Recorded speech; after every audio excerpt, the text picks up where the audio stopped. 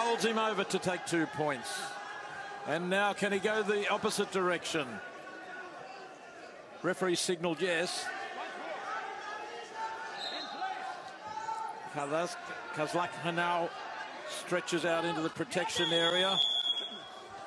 Yeah, the thing is, Alexander, he's just so strong. And when he get that um, that Godwin's grip and it's so close and they're not sweating yet, it's very hard to fight um, against uh, against Kalasnikov, even if he wants to. But now he get the opportunity, Kalasnikov.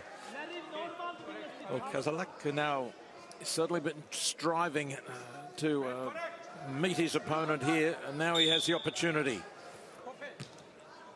Yeah, very important moment right now for Kalasnikov. He has a good side lift.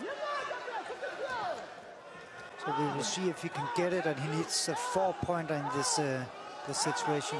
Aleksanyan keeps moving, and he almost broke away there. And he does fight off the disadvantage of the parterre. Great defense by Aleksanyan. Four points the difference, 5-1 in favor of the wrestler in the red singlet, Artur Aleksanyan of Armenia. He's sticking with his uh, game plan and just controlling the match. Yes, Kazlak now is trying everything, but he's run out of ideas. And a very willing struggle between these two big men in the 97 kilogram category.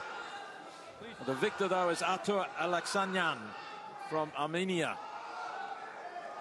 And exhausted Abu Bakar Kazlak now moves over.